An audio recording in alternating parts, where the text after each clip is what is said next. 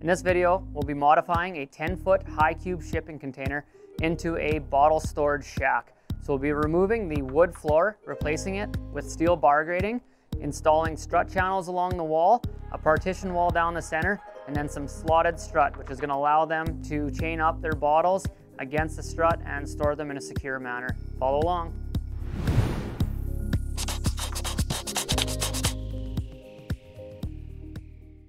And so these containers here, this is a 10 foot container. It's not a standard ISO size. It's uh, 10s usually come bolted together as a 20 and that's how they fit in vessel slots on boats. This being a new container, it's pretty easy to remove them. Sometimes on uh, used containers, these could be rusted or broke or sheared off. So you struggle with it a little bit more, but just stick with it. You will get it. And so I'll just pull out the last few screws here and then show how this panel comes out.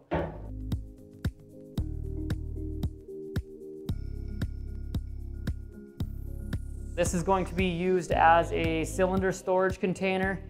That's the reason why they don't want any wood or any flammables in this. The bar grating in here, that's gonna act as our lower vent and we're gonna install higher vents up on both sides. So the air will come from underneath and above or if there's any gases in here that uh, if they're lighter or heavier than air, we have options of either exhausting uh, out the top or the gases will flow out underneath this container. And so with this bar grating here, uh, because we have a partition wall running down the center. We're going to weld in some stiffeners, which is going to allow us to screw that partition wall down into something because it's going to be kind of hollow under here. And so in here we have our center supports all welded in.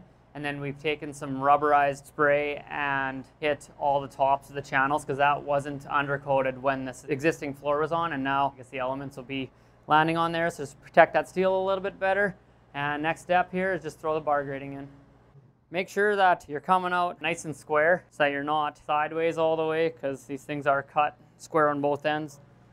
We just threw the last one in to see where it'll end up. So it works out quite well in the 10 foot containers that we're able to use three three feet pieces and it's just under nine feet. So the final step here to putting the flooring in is these Hilti clips. We use them with a, uh, we have to get a longer self-tapping 3 8 hex head driven, uh, it's a quarter inch self-tapping screw. So we do like to pre-drill just a lot of these you use two self tappers to get one hole so. And this this footer material here I think it's what is it three or five millimeters thick a lot thicker than what uh the sidewall corrugation which is only 1.6 mil thick. Sometimes the end walls are two millimeters. Interesting fact.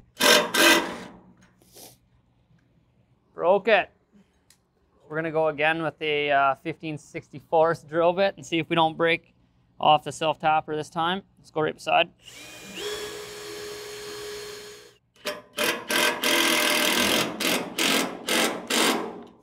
Nice and snug. So I'll do a couple more here and then I'll let the boys get at it and finish this thing up.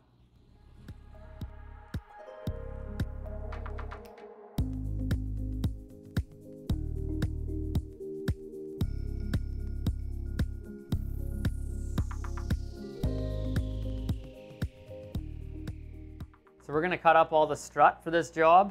We actually, uh, we have an insulated 53 foot container in our yard and we converted this to our cutting station. So we built a table where we can cut our strut. And we got our metal cutting chop saw here and our lube, which is super important. So these blades here are super expensive to be cutting this, uh, this strut channel, but it does a very quick and easy and fast job of doing it. So Make sure you're lubing your blade if you're cutting with this.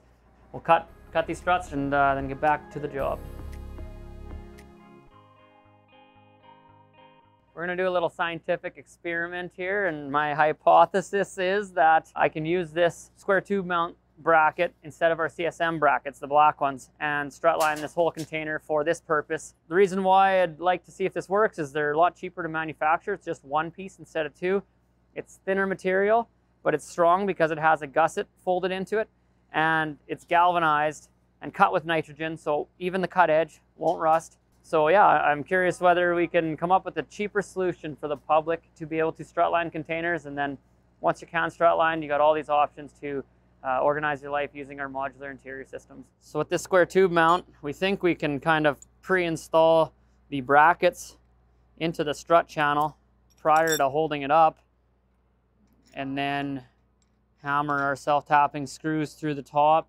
I guess, and because this is a bar graded floor, we'll be using longer self-tapping screws to go through the bottom. So, so we already have all the spring nut, all the hardware dialed in. I'm gonna pre-drill these.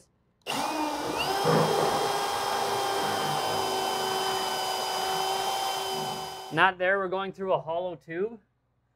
So because it's a hollow tube, we're not actually drilling right through the roof of the container. So these uh, thread cutters or self-tappers that we put in here, nothing's penetrating the can.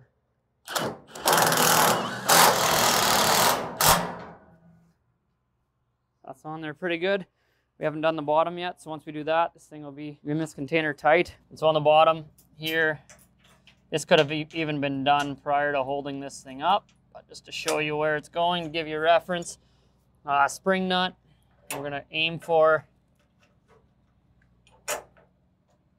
We're gonna try to see if we can utilize this here and then self-tap down through this flat bar and have that hold this strut in place without using the CSM brackets. So a downfall to the CSM brackets is that the quarter inch thread cutters on the side here, those go through that bottom channel. And then if you look from the outside, you can actually kind of see, you can see the bolts. They go through the, they penetrate the envelope of the container.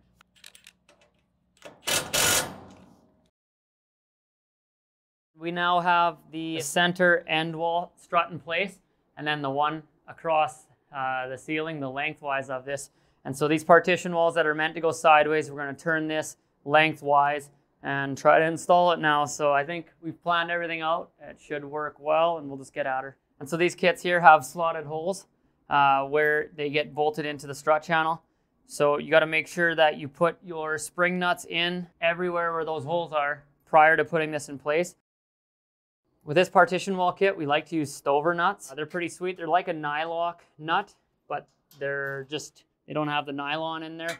It's actually uh, the distortion of the threads in the nut cut into the bolt, and that's what clamps it on there. And so as you tighten it, it basically damages the threads of the bolt so that uh, she's stuck on there for life.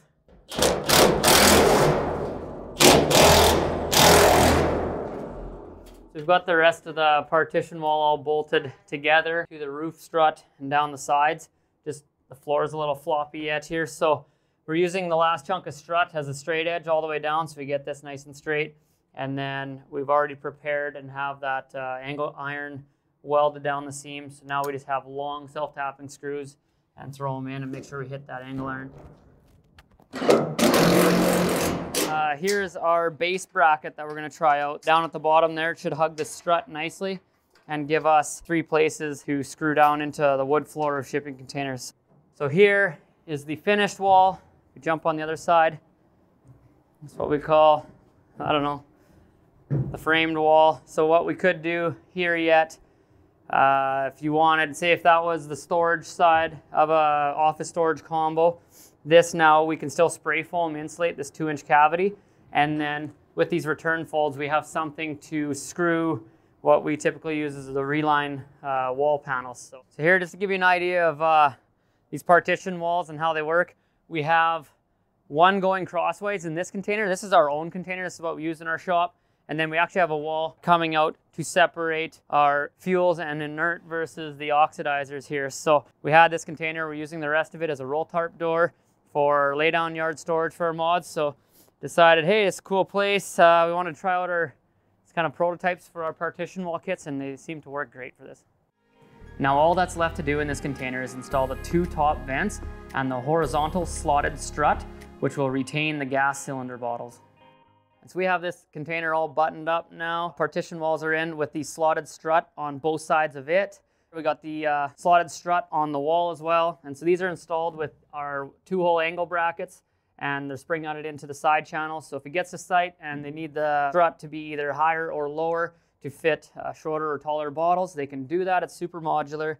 And then, yeah, if you come along here, the bottles will be stored uh, inside this and they'll be able to ratchet strap, bungee cord, or a lot of times a steel chain to, to hold those in place and stop them from falling. Falling. And then here's this uh, upper vent with the bug screen. So that's a big Air 45 vent. And that is going to exhaust all vapors that are lighter than air. So anything that is uh, floating up high. It's going to get rid of there. And as I said earlier, all of the lower vapors will exit out of this uh, container through the metal grated floor. So there it is. That's a bottle storage container out of a, out of a 10 footer. If you enjoyed this video, please give it a like. If you'd like to see more, please subscribe to our channel and ring that notification bell. If you have any comments or new product suggestions, please feel free to leave them below. And as always, check us out at tcg.ca. Hope you learned something.